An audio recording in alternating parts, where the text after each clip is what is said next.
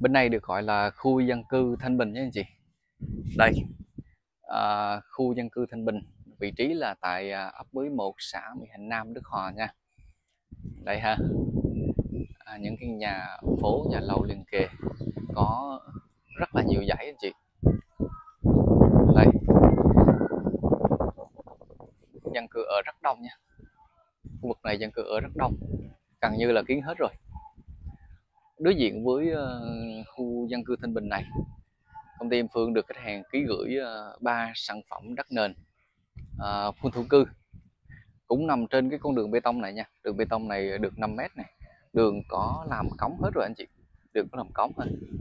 Đó, có làm cống có nước đầy đủ ha à, đối diện với uh, khu dân cư Thanh Bình thì uh, có ba lô đất nền ba sản phẩm đất nền.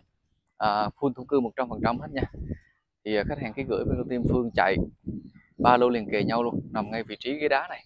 Mỗi uh, diện tích của mỗi lô là ngang 4 và dài 14 mét.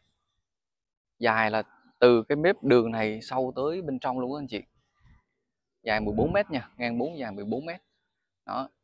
Full thổ cư 100% và khu vực này thì anh chị được xây dựng tự do nha được xây dựng tự do.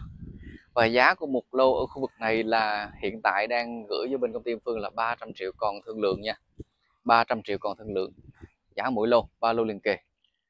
Đó từ cái mép cây này nhé anh chị từ mép cây này qua tới cái đá bên kia. Qua tới cái đá màu xanh đó, là ngang 4 và dài 14 mét ba lô liền kề riêng lẻ hết nha.